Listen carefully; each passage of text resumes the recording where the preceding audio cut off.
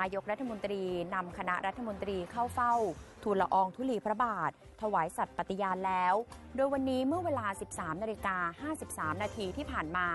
พระบาทสมเด็จพระเจ้าอยู่หัว และสมเด็จพระนางเจ้า พระบรมราชินี เสด็จออกณพระที่นั่งอัมพรสถาน พระราชวังดุสิต พระราชทานพระบรมราชวโรกาสให้ นายเศรษฐาทวีสิน นายกรัฐมนตรีนำคณะรัฐมนตรี